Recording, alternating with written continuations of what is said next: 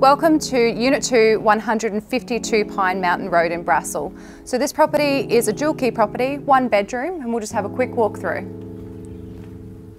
So you have an open plan tiled living area with split system air conditioner.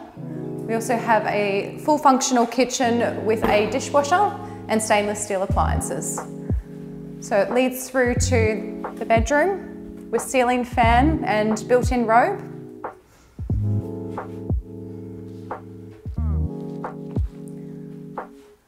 Then through to the bathroom.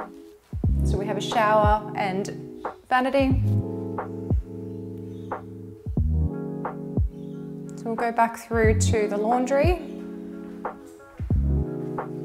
which has access straight through to the bathroom as well. So to inquire about this property, please call NGU Real Estate Ipswich today.